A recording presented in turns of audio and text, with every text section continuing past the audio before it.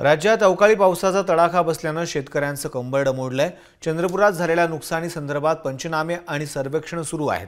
प्रत्यक्ष स्थितीची पाहणी करण्यासाठी जिल्हा परिषद अध्यक्ष देवराव भोंगळे यांनी जिल्ह्यातील वरिष्ठ कृषी अधिकाऱ्यांनी नुकसानग्रस्त शेतशिवारांची पाहणी केली आहे.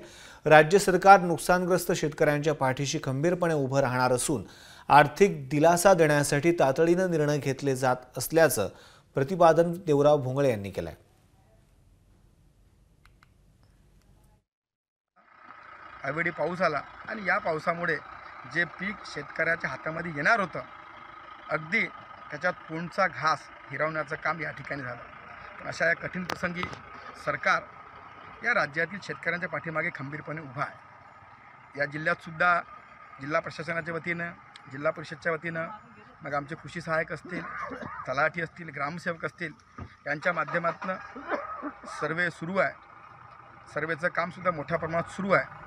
आणि लवकरात लवकर आमच्या बळीराजाला मदत देण्याकरता सरकार या ठिकाणी प्रयत्न करत आहे.